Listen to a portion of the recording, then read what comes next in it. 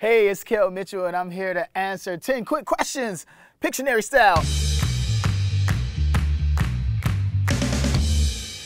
Okay, who's your favorite cartoon character? Uh, uh, Lion-O from the Thundercats. Did you practice your autograph when you were a kid? Of course I did. Okay, on all that, we definitely had to do that. Do people draw any conclusions about you that you'd like to confirm or deny. I don't know. I mean, when you, you're in the public eye, people have conclusions all the time, but you know what? Be yourself. What kind of board game uh, competitor are you? Oh, serious. It gets down, okay? Very serious. Fill in the blank. Jerry O'Connell is awesome. He's awesome, okay? Stand by me. Come on, I watched that the whole summer, okay? If you were a hand model, what product could you sell the most of?